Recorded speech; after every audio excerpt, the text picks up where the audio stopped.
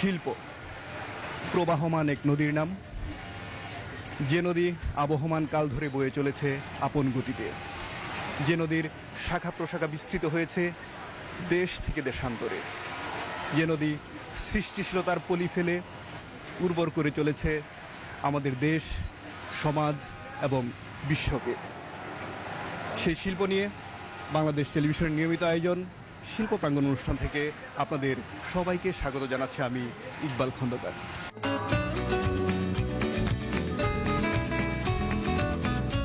আপনারা যে যেখানে বসে আমাদের অনুষ্ঠান দেখছেন, সবাইকে আমন্ত্রণ আগামী কিছুটা সময় আমাদের সঙ্গে থাকবার জন্য।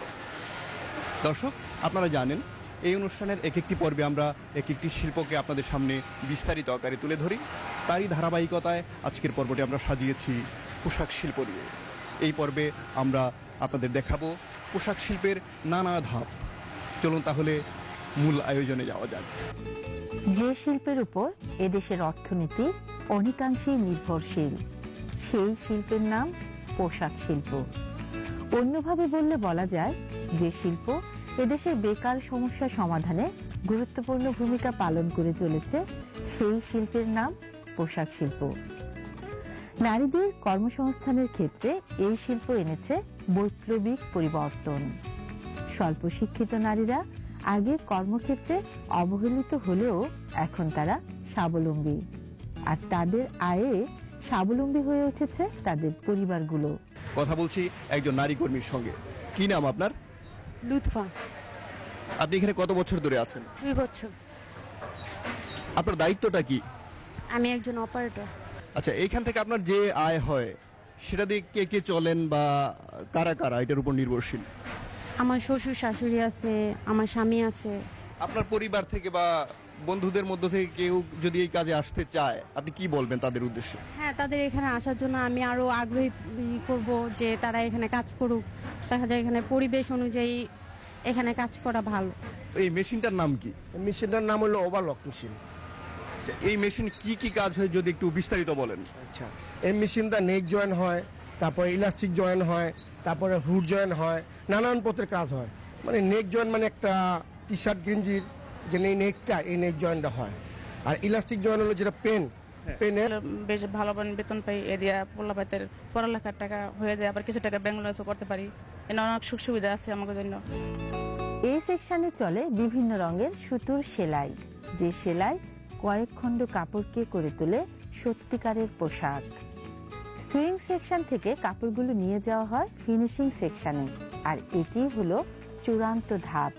এই সেকশনের কর্মীরা প্রতিটি কাপড় যাচাই বাছাই করেন অত্যন্ত সচেতনতার সঙ্গে, যাতে কোনোভাবেই অপেক্ষাকৃত কম মানসম্পন্ন কাপড়গুলো ক্রেতাদের হাতে যেতে না পারে। ফিনিশিং সেকশন থেকে কাপড়গুলো দেশের ভেতরে যেমন যায় তেমনি যায় দেশের বাইরেও। বাংলাদেশের তৈরি পোশাক শিল্পের যাত্রা শুরু হয় উনিশশো সালে। রপ্তানি শুরু হয় উনিশশো আটাত্তর উনআশি অর্থ বছর থেকে। ব্যাপক সম্প্রসারণ নব্বইয়ের দশকে। মোট শ্রমিক প্রায় চল্লিশ লক্ষ। নারী শ্রমিক আশি পার্সেন্ট আর ইপিজেড গুলোতে নারী শ্রমিক নব্বই পার্সেন্ট। মোট নারী শ্রমিক প্রায় বত্রিশ লক্ষ। মোট কারখানা পাঁচ হাজার চারশো। আয়ের বর্তমান অবস্থা মোট রপ্তানি আয়ের প্রায় উনআশি দশমিক ছয় পার্সেন্ট, যার পরিমাণ ২৬ মিলিয়ন মার্কিন ডলার। তৈরি পোশাক শিল্পের প্রকারভেদ, ওভেন ওয়ার এবং knit wear, woven wear, shirt T shirt pant, knit wear, sweater pullover টুপি বাংলাদেশ বিশটিরও অধিক দেশে পোশাক রপ্তানি করে। এর মধ্যে উল্লেখযোগ্য দেশগুলো হলো মার্কিন যুক্তরাষ্ট্র তেইশ দশমিক তিন পার্সেন্ট, জার্মানি চোদ্দ দশমিক চার পার্সেন্ট, যুক্তরাজ্য আট দশমিক নয় পার্সেন্ট, ফ্রান্স ছয় দশমিক তিন পার্সেন্ট, নেদারল্যান্ডস ছয় দশমিক এক পার্সেন্ট। একটি গার্মেন্টস ফ্যাক্টরি সত্যিকার অর্থে বিশ্বমানের ফ্যাক্টরি হয়ে ওঠে তখনই যখন সেখানে মৌলিক কিছু অধিকার বা সুযোগ সুবিধা নিশ্চিত করা হয়। কথা বলছি নিট সিন্ডিকেটের পরিচালক জনাব মোহাম্মদ আব্দুর রাজ্জাকের সঙ্গে। পোশাক শিল্পে নানা ধরনের সমস্যা থাকে। তো মূল সমস্যা যেটি সেটা হচ্ছে বেতন সময় মতো দেয়া না দেয়া নিয়ে। তো আপনারা সেই জিনিসটা কীভাবে মেনটেন করেন? ওয়ার্কার যারা আমাদের আন্ডারে কাজ করে তারা অনেক লো পেড এমপ্লয়ি তারা তাদের অভাব, অভিযোগ, সংসার চালানো অনেক কষ্ট হয়ে যায়। যার ফলে আমরা ওই, আমরা নিজেদের যতই কষ্ট হোক না কেন, যতই অসুবিধা হোক না কেন, আমরা চেষ্টা করি যে ওদের, এবং দশ তারিখের মধ্যে আমরা অবশ্যই তাদের বেতন দিয়ে থাকি, এবং এটা অনেক দিন থেকে আমরা কন্টিনিউ করে আসছি। প্রথমেই আসা যাক চিকিৎসা সেবা প্রসঙ্গে। কর্মস্থলে অসুস্থ বোধ করলে সেই শ্রমিককে যাতে সঠিক সেবা প্রদান করা যায় এজন্য ফ্যাক্টরিগুলোতে খোলা হয়েছে মেডিকেল সেন্টার। এখানে কর্মীদের চিকিৎসা করা হয় সম্পূর্ণ বিনামূল্যে। এখানে কি কি চিকিৎসা হয়ে থাকে? এখানে ছোটখাটো ইনজুরি হয় যেমন হাত কেটে যায়, আঙ্গুলের মাথা কেটে যায়, সিজারে কিংবা কাটারে কেটে যায়, তো সেখানে আমরা তাদেরকে প্রাথমিক চিকিৎসা দেই, দেওয়ার পরে তাদেরকে দু ঘণ্টা, এক ঘণ্টা বিশ্রাম দেই, দেওয়ার পরে তারা যদি কাজ করতে সক্ষম, তো কাজ করে, তা না হলে যদি ছুটি চায়, ছুটি দিয়ে তাকে বাড়িতে দেওয়া হয়। এবং এখানে বিনামূল্যে চিকিৎসা দেওয়া হয়, সেবা দেওয়া হয়, বিনামূল্যে সমস্ত ওষুধপত্র এখান থেকে তারা পায়। পোশাক শিল্পের প্রধান দু একটি ঝুঁকির কথা বলতে গেলে চলে আসে আগুন বা অগ্নিকাণ্ডের প্রসঙ্গ।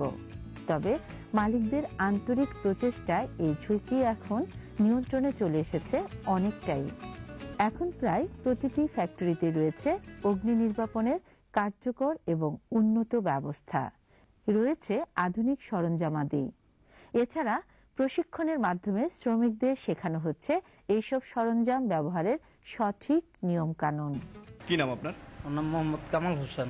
আপনাদের এখানে কি কি যন্ত্রপাতি আছে আগুন নেবানোর জন্য? এখানে যন্ত্রপাতি কাটার আছে তারপরে যে বেলচা আছে পানির লাইনের পাইপ আছে তারপরে গ্যাসের সিলিন্ডারই আছে যেটা দিয়ে আগুন নিবানো হয় সেগুলো আছে। সেগুলো দিয়ে দেখা গেছে যে কখনো যদি কখনো এই আগুন লাগে তাহলে দ্রুত আমরা সবাই বেরিয়ে পড়ি। এছাড়া রয়েছে একদল সাহসী উদ্ধারকর্মী। তারা যে কোনো দুর্ঘটনায় আন্তরিক ভূমিকা রাখার জন্য সর্বদাই প্রস্তুত রাখে নিজেদের। আর দুর্ঘটনা থেকে রক্ষা পাওয়ার জন্য শ্রমিকরা নিজেরাই যাতে কার্যকর পদক্ষেপ নিতে পারে, এজন্য রয়েছে বিশেষ ব্যবস্থা। যেমন নিরাপদ ঊর্ধ্বগমন, নিরাপদ নির্গমন, নির্বাপন যন্ত্রের ব্যবহার প্রক্রিয়া ইত্যাদি। দুর্ঘটনায় আক্রান্ত কর্মীকে উদ্ধারের জন্য যারা নিয়োজিত তারাই উদ্ধারকর্মী নামে পরিচিত। একজন উদ্ধারকর্মীর সঙ্গে কথা বলছি। কি নাম আপনার? জি আতাউর রহমান বাবুল। আচ্ছা আপনি যেখানে উদ্ধারকর্মী হিসেবে কাজ করছেন প্রশিক্ষণ নিয়েছেন কোনো জায়গা থেকে? জি জি ফায়ার সার্ভিস বিকেএম এখান থেকে ট্রেনিং নিয়ে আসছে। কোনো একটা দুর্ঘটনা ঘটলো। আপনার প্রথম কি কাজটি করেন বা করবেন বলে মনস্থির করে রেখেছেন? জি জি প্রথম যে কোনো সময় একটা আগুন লাগল এটা আতঙ্কের মধ্যে অনেক তাড়াহুড়া কইরা লোকজন বের হয়। আমরা ওইখানে ওই সময় দাঁড়িয়ে থেকে যে এত তাড়াহুড়া দরকার নেই, তবে ধীরে স্থির তোমরা বাইরে।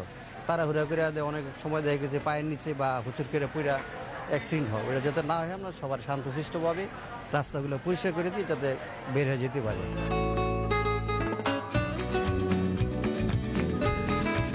সবসময় একটা চিন্তা করতাম যে একা একা কিছু করার চিন্তা ভাবনা না। আমি সমষ্টিগতভাবে যেমন আজকে আমার ফ্যাক্টরিতে ছশো লোক কাজ করে আমাকে খুব ভালো লাগে। এবং আমার ভবিষ্যৎ চিন্তা আরও যে ছশো বা আরও পাঁচশো লোক যদি কর্মসংস্থান করতে পারি, যারা খায় পরে পাঁচশোটা পরিবার চলবে, পাশাপাশি আমি মনে করি যে এই গার্মেন্টস ব্যবসা কেন করলাম না? আরও তো অনেক ব্যবসা বাংলাদেশে ছিল। গার্মেন্টস ব্যবসাতে আমি দেখি যে দেশের উপরে একটা অর্থনৈতিকভাবে বিদেশ, বৈদেশিক মুদ্রার একটা বড় একটা আর্নিং সোর্স হচ্ছে কি গার্মেন্টস সেক্টরটা। আমি যদি দেশের একটা বিদেশি আর্নিং সোর্সের উপর আমি যদি একটা অবদান রাখতে পারি, আমি নিজেকে খুব গর্বিত মনে করব। বিগত দিনের চাইতে আমাদের এই গার্মেন্টস সেক্টরটা এখন অনেক উন্নত হয়েছে। যেমন ওয়ার্কারদের জন্য কর্ম পরিবেশ আমরা দিতে পারছি। পাশাপাশি ফ্রি চিকিৎসা, নার্স, ডাক্তার, ওষুধপত্র, যদি কোনো সমস্যা দেখা দেয়, সেই ক্ষেত্রে আমাদের সব ধরনের সরঞ্জাম আমাদের আছে। ইলেকট্রিক কোনো সমস্যা হলে সেটা নিবানের ব্যবস্থা আছে, আগুন ধরলে সেটা নিবানের ব্যবস্থা আছে, শর্ট সার্কিট হলে সেটা ব্যবস্থা আছে এবং লোকজন যদি উন্ডেড হয়, তাকেও দ্রুত আমরা নিচে নামে নিয়ে যে আমরা হসপিটাল পৌঁছে দেওয়ার ব্যবস্থা আছে। অনেক কিছুই আমরা এই সেক্টরে আধুনিকায়ন করেছি। ব্যাপক পরিসরে বড় আকারের আমরা পৃথিবীর মধ্যে আমরা মনে করি যে আমরা এক নম্বরে চলে যেতে পারি এক্সপোর্টের ক্ষেত্রে। পোশাক শিল্প, আমাদের প্রাণীর শিল্প। এই শিল্প যত বেশি আধুনিক ও উন্নত হবে, ততই উন্নত হবে আমাদের শিল্প প্রাঙ্গণ উন্নত হবে আমাদের দেশ। তাই কোনো প্রতিকূলতাই যেন এই শিল্পের অগ্রযাত্রার পথে বাধা হয়ে দাঁড়াতে না পারে, এর জন্য আমাদের উচিত সচেতন এবং সতর্ক থাকা।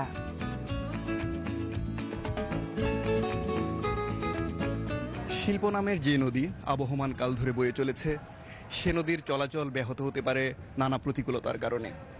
আমাদের উচিত সেই সব প্রতিকূলতাকে দূর করা এবং শিল্পের চলাচল অব্যাহত রাখা। তাহলে সমৃদ্ধ হবে দেশ, সমৃদ্ধ হবে আমাদের সংস্কৃতি, সমৃদ্ধ হবে আমাদের অর্থনীতি। দর্শক, আমরা অনুষ্ঠানের একেবারেই শেষ প্রান্তে চলে এসেছি। এখন বিদায় নেবার পালা। আপনারা যদি আমাদের এই অনুষ্ঠান সম্পর্কে মতামত জানাতে চান, অথবা যদি আপনার এলাকার বিশেষ কোনো শিল্পকর্ম সম্পর্কে আমাদের অবগত করতে চান, তাহলে চিঠি লিখুন এই ঠিকানায়। প্রযোজক, শিল্প প্রাঙ্গণ, কক্ষ নম্বর দুশো তেইশ, বাংলাদেশ টেলিভিশন টেলিভিশন ভবন, রামপুরা, ঢাকা। আমাদের আগামী অনুষ্ঠান দেখার আমন্ত্রণ জানিয়ে আজকের মতো এখানেই বিদায় নিচ্ছি আমি ইকবাল খন্দকার। সবাই ভালো থাকবেন, সুস্থ থাকবেন এবং শিল্পের সঙ্গেই থাকবেন। আল্লাহ হাফেজ।